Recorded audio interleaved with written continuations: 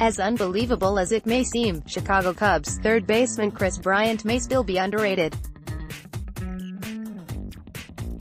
The young slugger is generally looked at as one of the game's superstars, alongside big names like Bryce Harper and Mike Trout. However, ever since his MVP season in 2016, it seems that his success has somehow still been somewhat underplayed. Almost two months into the season, Bryant is currently batting .301 with 22 RBI, 8 home runs and 25 strikeouts. He has been the Cubs' most consistent hitter so far this season. Bryant leads the team in batting average, on-base percentage, slugging percentage and ops, more from Cubbies Crib not only that, but Bryant has been off to a hot start this season. Early last season, his numbers were down. Many complained that his inability to drive in runs was a significant factor in the Cubs' early struggles. Still, Bryant ultimately ended the 2017 season with MVP-caliber numbers, .295 BA, .4090 BP, .537 SLG and .946 OPS, but now, about a quarter of the way through the 2018 season, Bryant is off to perhaps the best start of his career, as he is exceeding past results in several different categories. Batting average Bryant is batting .301 through the first two months of the season.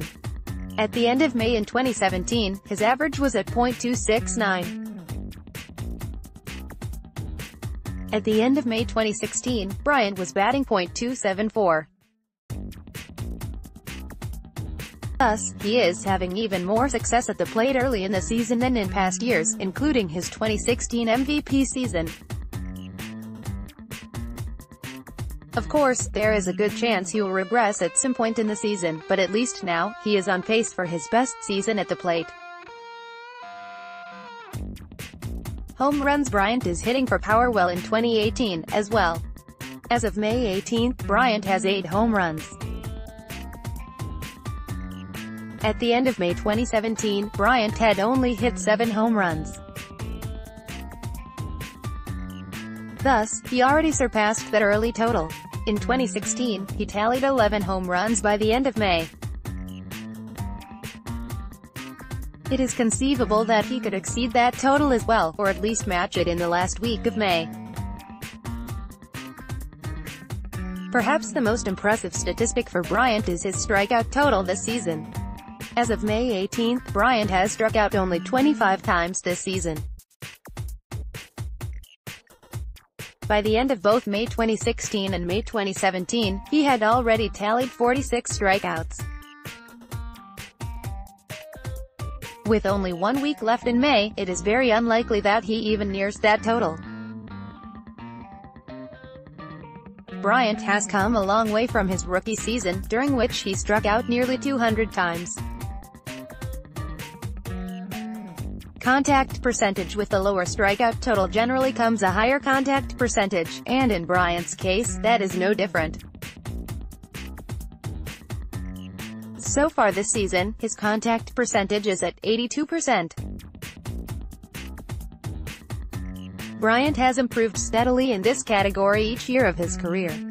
If the season ended today, he would have the highest contact percentage of his career by far. In 2015, he finished the season at 66.3%, in 2016, 73.0%, and in 2017, 77.4%. Bryant's ability to adapt and improve at the plate to reduce his strikeouts and increase his contact percentage proves how good of a hitter he really is. Kris Bryant is certainly seen as one of the best players in the game, by most baseball minds. But a closer look at his statistics reveals that he may be even better than he gets credit for. He is off to an exceptional start offensively in 2018, and if he continues on his current pace, he could find himself in the MVP conversation once again.